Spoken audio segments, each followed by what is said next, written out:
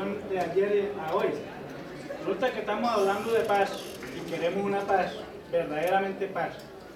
Pero a como quedó en estas nuevas elecciones, el orden nacional y local, departamental, ¿con quién íbamos a hacer la paz? Si elegimos o eligieron a los conservadores que han sido sangrinarios históricamente del mundo, los liberales, el partido de la U, Cambio Radical, eligiendo concejales del PIN, que sabemos que son gente que no van a construir ni a siquiera aportar con la paz. Yo escuchándole a todos he tenido una gran preocupación. ¿Cómo, van a, ¿Cómo irán a trabajar los alcaldes conservadores, natalmente conservadores, los, los, gobernadores de la U y del Cambio Radical y del Partido Conservador este proceso de paz.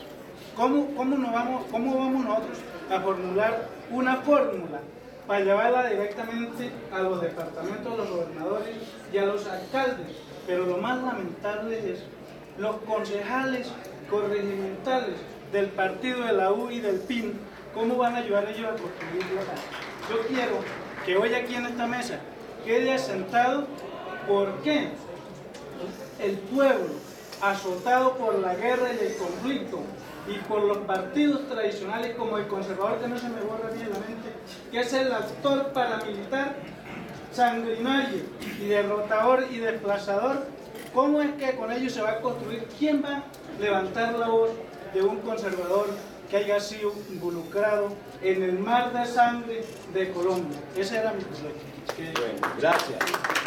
Un minuto cuenta, estuvo bien. El número 9. 9, 9. Se prepara el 10.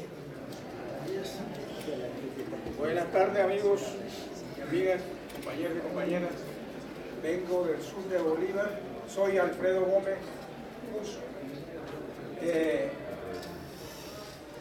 la petición mía es que lo que habló un muchacho, un señor allá representante, o que estaba representando en el departamento de Chocó, quiero que en esta asamblea, eso que dijo este señor ayer, la memoria, una poesía, ojalá esa poesía fuera grabada y repartida en todos los que pertenecemos a la asamblea. Eso es lo que dijo este señor ayer.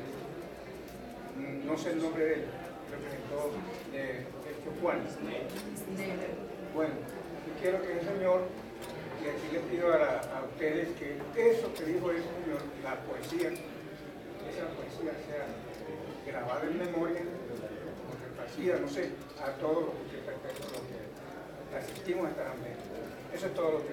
Muchas gracias. Bueno, gracias. Un minuto. El 10. La compañera, 10. Buenos días, mi nombre es Álvaro Zagatis. Yo vengo de una región que es Aguachica Cesar. De pronto ustedes no, o los que van para la costa y internet. Aguachica viene azotada desde hace mucho tiempo por la violencia. Nosotros teníamos jefes paramilitares, San Martín, que fue el señor Prada y Juan Jorge 40. Y vivimos la violencia dura. Hace 20 años hicimos una consulta popular donde rechazábamos la violencia y, y por eso nos consideramos que somos un territorio de paz. Pero vemos hoy que seguimos todavía en, en lucha cuando no es coherente que el gobierno, y por eso yo personalmente voté por el presidente actual, la reelección, porque, porque habla de paz y que todos queremos la paz. Pero no es coherente cuando vemos que Aguachica y Amarra y el Magdalena Medio, que hacemos parte nosotros, somos importantes, pero ¿para qué somos importantes? Para que vengan las multinacionales a acabar con nuestros recursos nos van a construir cinco cuerpos multimodales en Gamarra. Ya empezaron, que nos van a afectar las ciénagas que tiene el río Magdalena, que no es solamente de Gamarra y de nosotros, sino de todos ustedes, de todos los, que somos, que hacemos parte de Colombia. Aparte de eso, nos van a traer el carbón, ya nos están trayendo el carbón. De aquí donde dice el compañero del Catatumbo, están llegando 40 mulas diarias y se espera 400 mulas esas mulas llegan solamente con una carpita por encima, nos atraviesa todo agua chica y todo caña, pero pues yo soy agua chica y Gamarra nos está atravesando y ya nos está afectando el medio ambiente. Al igual nos están desplazando las comunidades, porque por ejemplo en Gamarra hay un puerto que, se llama Acapulco, eso ya lo compró la multinacional.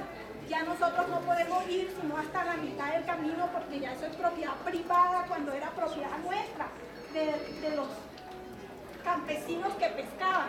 A ellos llegaron y los reubicaron en la zona urbana, donde son personas que no están acostumbradas a vivir en zona urbana. Lo mismo va a pasar con otros tres puertos que hay en, en que es Puerto Viejo, y bueno, se me escapa el otro. Entonces decimos cómo el gobierno, porque el, presidente, el vicepresidente fue allá y nos dijo que era la maravilla del 30 mundo segundos. que era la maravilla del mundo porque venía empleo. Y es mentira porque la ruta del sol nos está atravesando por Agua Chica y lo que nos ha generado son como 20 empleos mal pagos. Pero sí nos ha afectado las quebradas porque Agua Chica tenemos agua cada 21 días.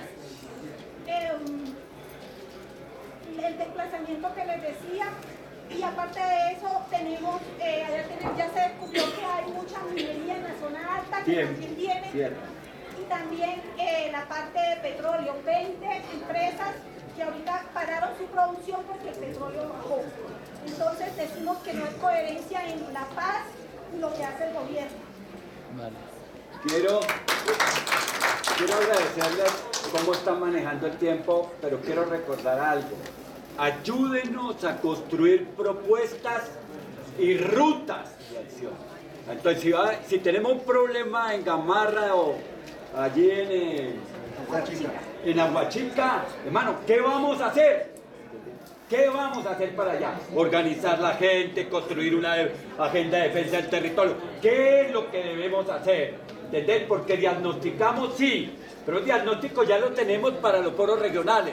Aquí queremos propuestas. Está bien que hagan el discurso como quiera, pero ayúdenos a construir propuestas, ruta de acción y fundamentación política de la Asamblea. Gracias. El número 11, 11, 11. 11, venga. 13 y uno. Bueno, espere. ¿Cuál es el asignado? 11, 11, terminamos ahí. 33 minutos de trabajo, vamos a almorzar. ¿Vale? Y regresamos, tomamos la palabra tranquilos. Va a haber tiempo. Ustedes no pueden imaginar cuántas intervenciones podemos hacer todavía. Listo. Buenas tardes compañeros, pues me alegra pues, ser el último. Eh, soy comunicador social periodista, presidente de la Asociación de Medios Comunitarios Independientes de Colombia. Eh, con todo respeto, acá todos hablamos muy bonito, pero la idea es que esto no se quede entre palabras. Los medios de comunicación y más comunitarios, que somos 500 medios en Colombia, la mitad de ellos ubicados acá en Bogotá, pues lamentablemente llevamos dos años sin podernos reunir y a veces es difícil reunirnos los mismos medios de acá de- de Bogotá, imagínense ahora de todo el país. ¿Qué le proponemos nosotros como medios comunitarios? Ayudarle con esos conocimientos que nosotros hemos adquirido en la marcha, en la experiencia de 10 años, otros medios 20 años, hay unos que llevan 30 años como medios comunitarios, eh, facilitarle nuestras cámaras, invítenos, el profe les comentaba ahorita, invítenos a Popayán, invítenos allá a Sucre, vamos, hacemos una nota bien bonita, bien chévere, para que sea difundida en esos 500 medios que afortunadamente tenemos un lazo bien chévere porque trabajamos desde las uñas. Entonces la idea es esa, la propuesta es esa, compañeros, invítenos, hacemos algunos talleres de creación de páginas web, les enseñamos cómo subir esos videos a, a internet, a Google, a YouTube, les, proporcionamos nuestras cámaras, hacemos algunos talleres, algunas propuestas para ver cómo nos levantamos más medios. Invítenos, está la propuesta desde Red Unipaz, es un medio que surgió hace mes y medio con la cumbre climática Ahí estamos para colaborarles y pues muchachos, la idea es que no se quede esto acá porque es lo que yo veo como medio de comunicación. Entonces la idea es invitarnos, difundirnos y hacernos fuertes y más con lo que viene ahora con los procesos de paz. Muchas gracias. A las 2 de la tarde puntual disfruten del almuerzo, quiérase.